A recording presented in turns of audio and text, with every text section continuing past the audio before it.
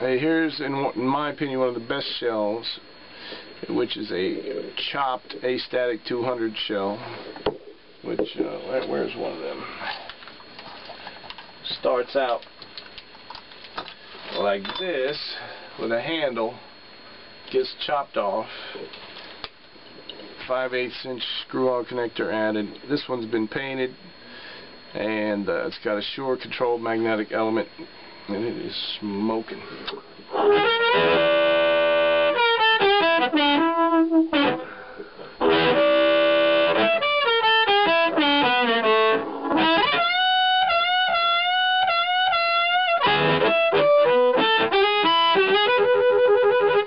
Little delay.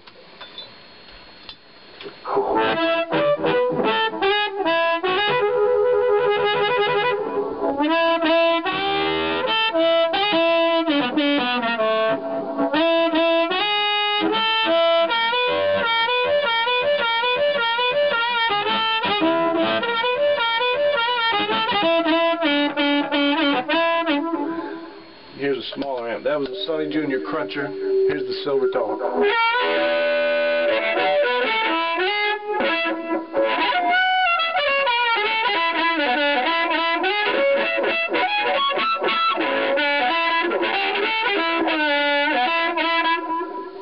Well, you get the idea. That is a great harp mic.